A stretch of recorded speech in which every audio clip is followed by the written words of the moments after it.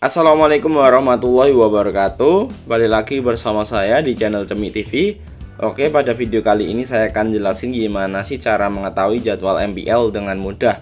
Karena mungkin banyak di antara kalian uh, bingung kira-kira kapan sih bermainnya lagi Kapan sih uh, mainnya lagi uh, pertandingan MPL Karena seperti kita ketahui bahwa pertandingannya sangat seru sekali dari kemarin. Oke gampang banget. Pertama-tama buka Google Chrome dan ketikin aja jadwal MPL saya ulang aja ya jadwal MPL kayak gini aja.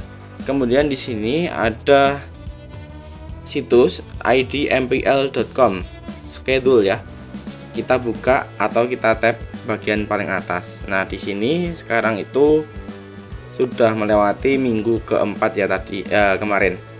Nah ini udah melewati dan sudah ada skornya kayak Aura dan versus Kick ini 2-0 Onyx BTR 2-0 Aura LRQ 2-0 menang Anarki kemudian masih banyak lagi ya.